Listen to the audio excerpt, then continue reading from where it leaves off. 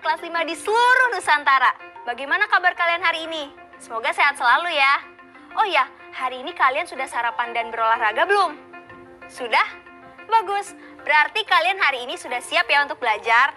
Nah, sebelum kita mulai pembelajaran hari ini, jangan lupa untuk selalu berdoa agar ilmu yang didapatkan bisa berguna dan diterima dengan baik.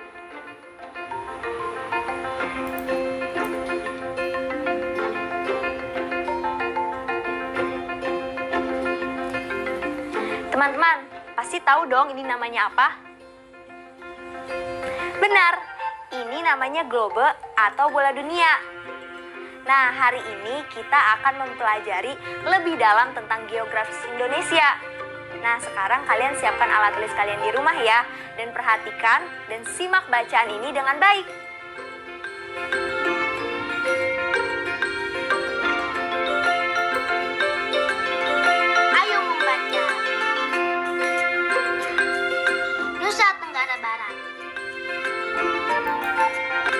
Indonesia adalah wilayah yang secara letak geografis memiliki ciri tertentu. Letak geografis adalah letak suatu wilayah berdasarkan kedudukan di muka bumi. Jumlah pulau di Indonesia tahun 2019 adalah 17.504 terdiri atas pulau besar dan kecil.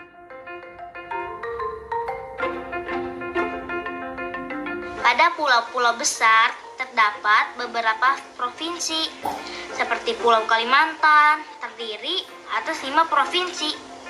Ada juga satu pulau terdiri atas beberapa kabupaten yang menjadi bagian dari satu provinsi. Provinsi Nusa Tenggara Barat juga terdiri atas beberapa pulau selain Pulau Sumbawa dan Lombok.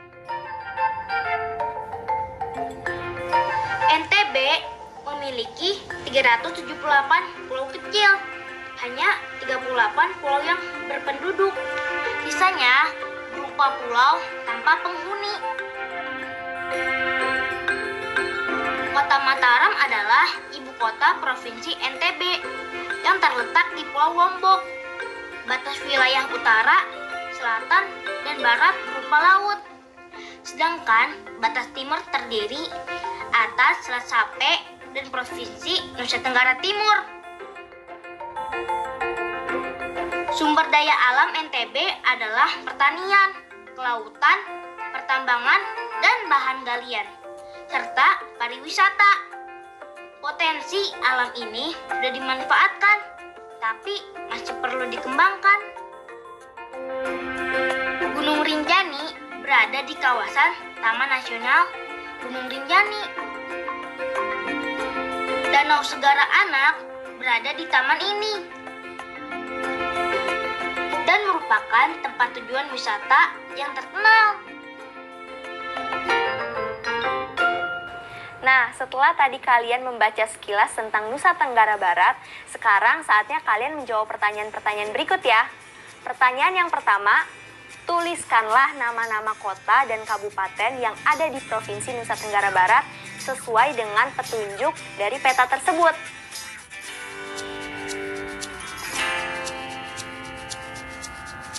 Iya, benar. Ada banyak sekali kota dan kabupaten yang ada di Provinsi Nusa Tenggara Barat. Di antaranya Bima, Mataram, dan lain-lain. Kalau kalian belum mengerti dan belum jelas, kalian bisa meminta bantuan ibu atau bapak guru kalian untuk mengulang video tersebut. Pertanyaan yang kedua, kota Mataram itu terletak di pulau apa sih?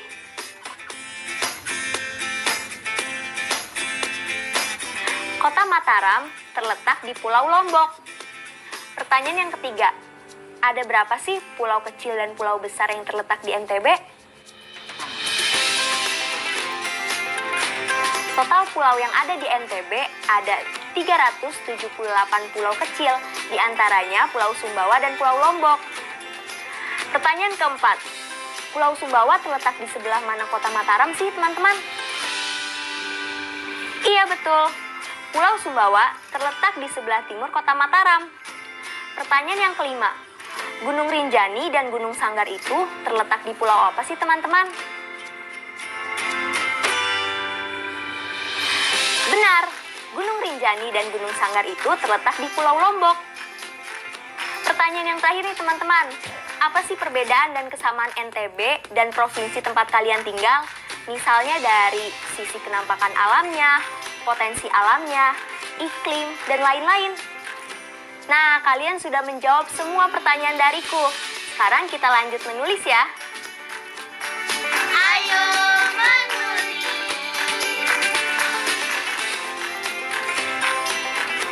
Nah, setelah tadi kalian mencermati bacaan di atas, sekarang tugas kalian adalah menuliskan ciri-ciri geografis di provinsi tempat kalian tinggal. Ciri-ciri geografis, misalnya batas-batas provinsi, bentuk perbatasan seperti laut, gunung, hutan, dan sungai, dan lain sebagainya. Nama sungai, nama laut, nama gunung jika ada. Nah, itu semua kalian tulis di buku kerja kalian masing-masing ya. Setelah itu, kalian ceritakan kembali kepada anggota keluarga kalian. Kakinan akan memberikan contoh panduan cara menulisnya.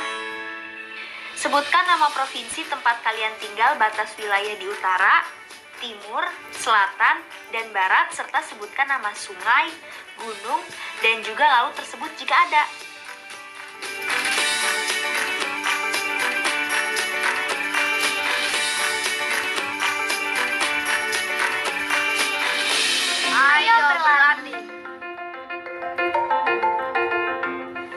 Baruku. Geografis. Geografis adalah segala hal yang berhubungan dengan permukaan bumi.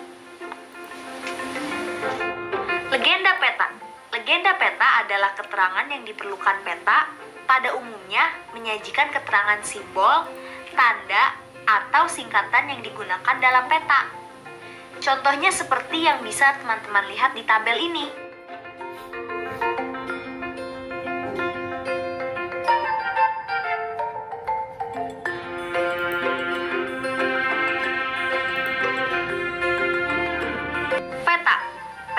Adalah gambar pada kertas atau media lain yang menunjukkan letak tanah, laut, sungai, gunung, dan sebagainya.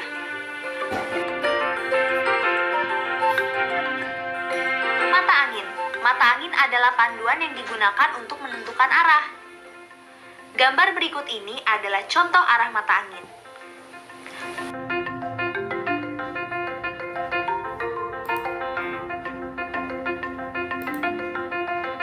Provinsi. Provinsi adalah wilayah atau daerah yang dikepalai gubernur. Ibu kota. Ibu kota adalah kota tempat pusat pemerintahan. Nah, sekarang teman-teman coba perhatikan gambar dan petunjuk arah di bawah ini dan lengkapi kalimat rumpang dengan arah mata angin yang tepat dan tulis kalimat lengkap pada buku kerja kalian. Pak Burhan hendak menjenguk keluarga yang dirawat di rumah sakit. Ia melajukan mobilnya dari jembatan A ke arah titik-titik hingga perempatan lalu belok ke titik-titik.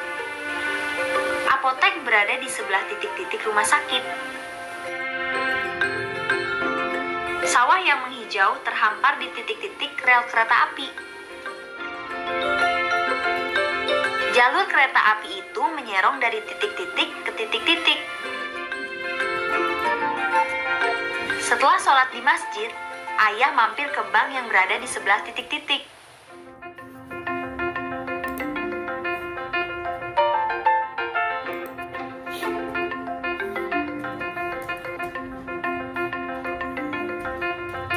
Kalau kalian sudah selesai melengkapi kalimat tersebut, yuk kita cek satu-satu jawabannya.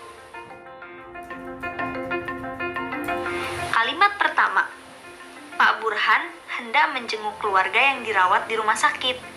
Ia melajukan mobilnya dari jembatan A ke arah barat hingga perempatan, lalu belok ke selatan. Kalimat kedua, apotek berada di sebelah timur laut dari rumah sakit. Kalimat ketiga, sawah menghijau menghampar di barat laut rel kereta api. Kalimat keempat, jalur kereta api itu menyerong dari barat daya ke timur laut.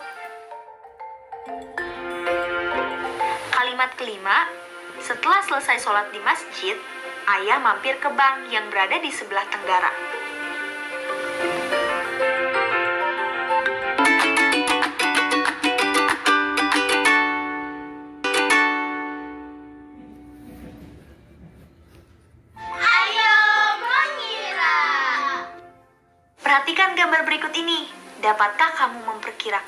Persegi satuan yang ditutupi persegi besar? Teman-teman tahu caranya bukan? Iya, kamu tinggal menghitung ada berapa jumlah satuan persegi kecil pada alas dan tinggi persegi. Kemudian mengalikannya. Mudah kan? Nah, jadi berapa hasilnya?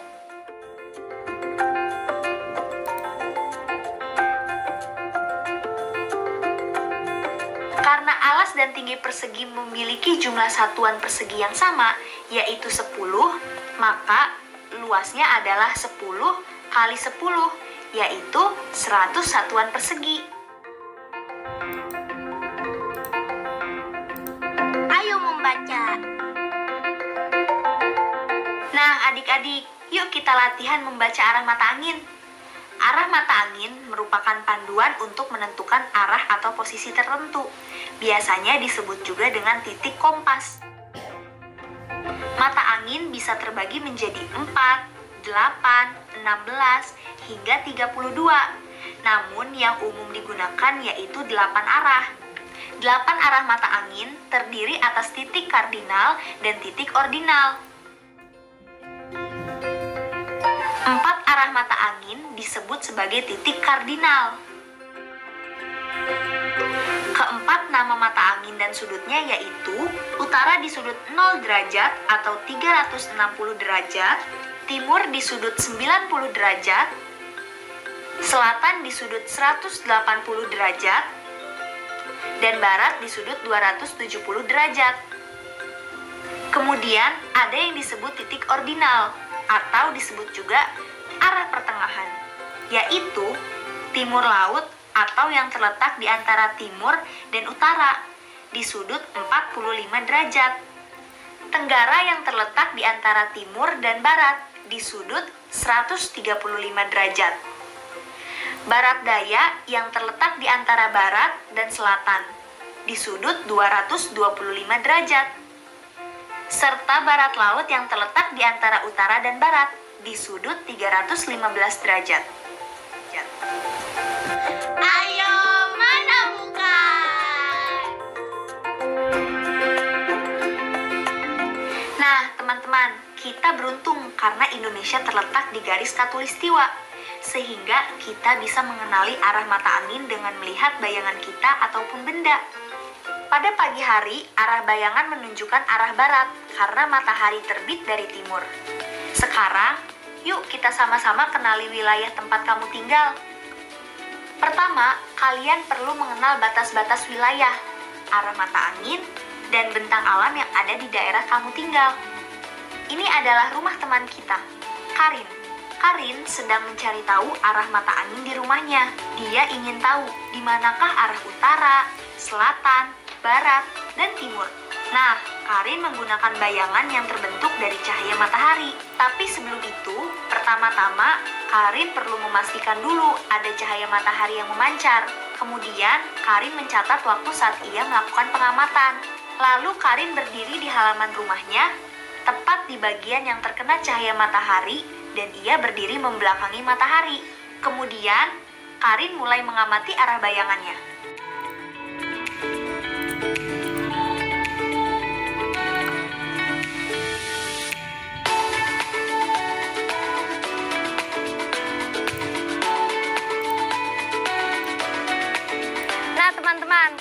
Sedang mengukur arah mata angin seperti Karin nih. Kalian coba juga di rumah ya. Jika kalian melakukan pengamatan di bawah jam 12, maka arah mata angin akan menunjukkan arah barat. Jika kalian melakukan pengamatan di atas jam 12, maka arah bayangan akan menunjukkan arah timur. Nah, jika kalian sudah melakukan pengamatan tentang arah mata angin, kalian bisa menuliskan di buku kerja kalian pulau-pulau apa saja yang mengelilingi pulau kalian. Jika tidak ada, kalian cukup tuliskan bentang alam apa saja yang ada di kota kalian. Misalnya seperti selat, laut, dan gunung. Contoh penulisannya seperti ini teman-teman. Nah, setelah itu, coba perhatikan tengara atau landmark seperti Tugu atau kantor wali kota yang ada di pulau tempat kalian tinggal. Kalian sebutkan tiga saja, lalu ceritakan ke teman atau guru kalian ya. Perhatikan Tugu Jogja berikut ini. Tugu Jogja merupakan tengara di kota Yogyakarta yang tingginya 15 meter. Sekarang, coba lengkapi pernyataan berikut ini. A. Tinggi tugu pada gambar adalah 15 cm. B. Tinggi tugu sebenarnya jika diubah ke cm adalah 15 dikali 100 sama dengan 1500 cm. C. Tinggi tugu pada gambar dibanding tinggi tugu sebenarnya adalah 15 cm dibanding 1500 cm.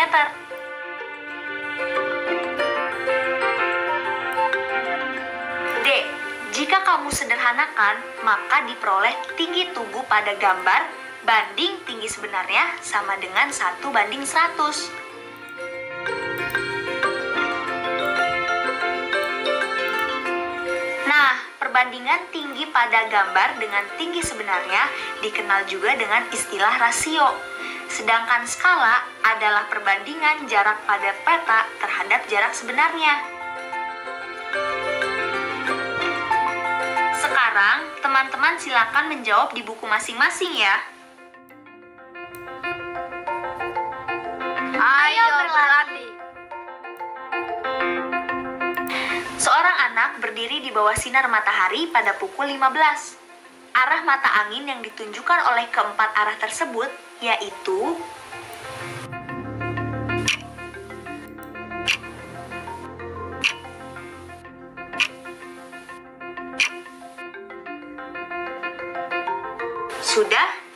Kita periksa jawabannya sama-sama ya. Jawabannya adalah utara, timur, selatan, dan barat. Perhatikan gambar berikut ini. Gambar manakah yang paling tepat menampilkan bentuk Tugu Jogja?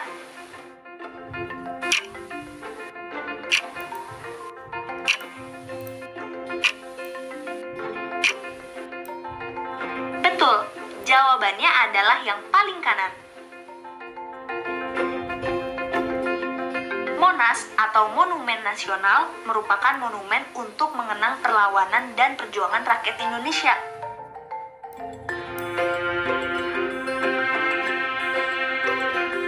Dapatkah kalian menggambar ulang Monas di buku kerja kalian masing-masing dengan tinggi dua kali dari yang ada di gambar? Silakan dicoba di buku masing-masing ya.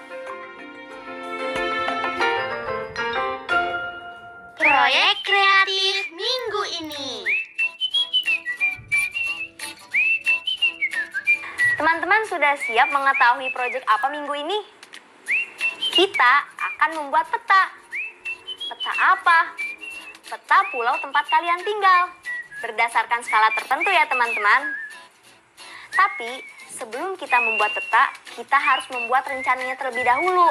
Itu pun harus rinci dan lengkap teman-teman. Kalian bisa memulai dengan mengisi tabel berikut ini ya teman-teman. Sekarang, Kak Kinan juga akan membuat rencananya terlebih dahulu nih teman-teman.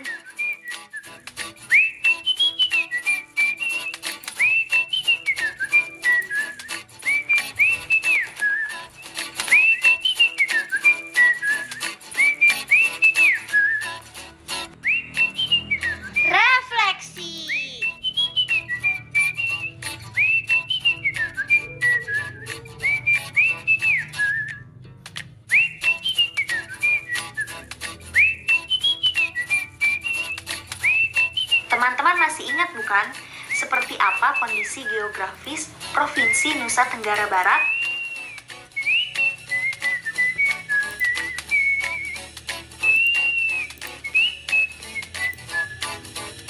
Kemudian kosakata baru yang kita pelajari hari ini pastinya teman-teman ingat dong ya.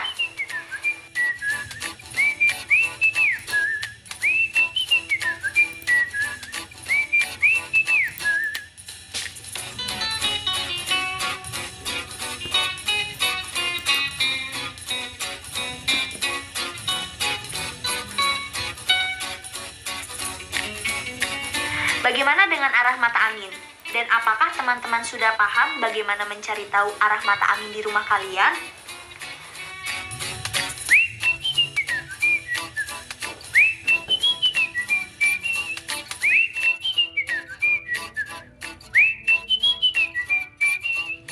Hari ini kita juga belajar tentang rasio atau perbandingan. Atau kalau dalam peta namanya skala. Tentunya masih ingat kan?